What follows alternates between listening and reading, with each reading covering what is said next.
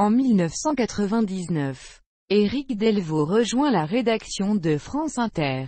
Il présente les journaux de l'après-midi puis la revue de presse le week-end, et est joker à la présentation des grandes éditions. En 2005, Éric Delvaux devient le rédacteur en chef des matinales de France Inter. De septembre 2006 à juin 2011, il présente les journaux de 18h et 20h de la station.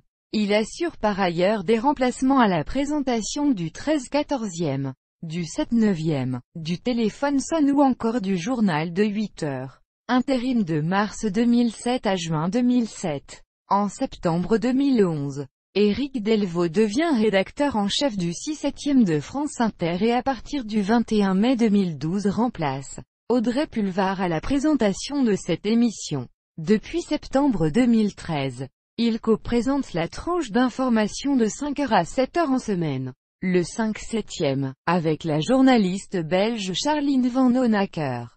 Puis Catherine Boulet à compter d'août 2014.